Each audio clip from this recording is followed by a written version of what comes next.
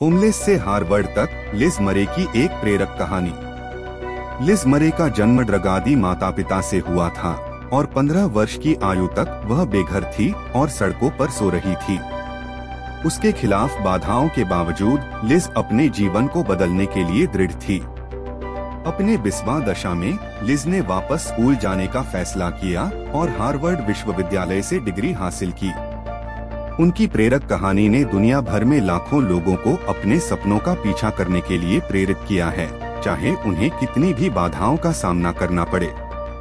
लिस की दृढ़ता, लचीलापन और कड़ी मेहनत की कहानी साबित करती है कि सही मानसिकता के साथ कुछ भी संभव है। उनकी कहानी हमें याद दिलाती है कि सफलता आसानी से नहीं मिलती, लेकिन यह कभी भी पहुँच से बाहर नहीं होती।